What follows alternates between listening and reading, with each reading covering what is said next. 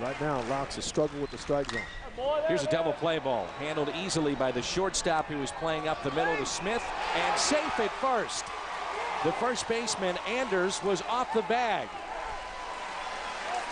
So this will extend the inning as this is a routine double play ball, six unassisted as Smith gets it, steps on the bag, the throw carries offline a little bit.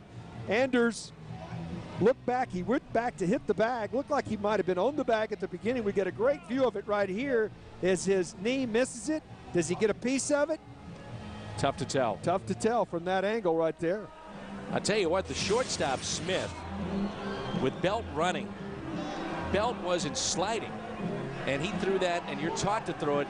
Hey, if he's not going to slide, put it at his head. That's exactly right. And in college baseball, much different than you can't hit a infielder around second base. You can't take him out as you hear and are seeing pro ball, and you're supposed to get out of the way and not affect the throw. And that throw to first base.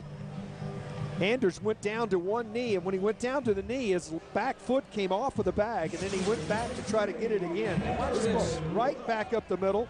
Smith, who has an outstanding arm, steps on the bag there. Belt is starting to get down, just gets out of the way. And I really think that messed him up. I think he was trying to avoid Belt. Yeah. So now you have first and third. It extends the inning.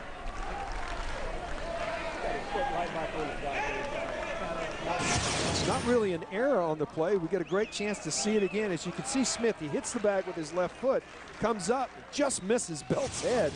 And the throw with that great arm is down and away. Anders does a great job just to catch it, but he couldn't find the bag.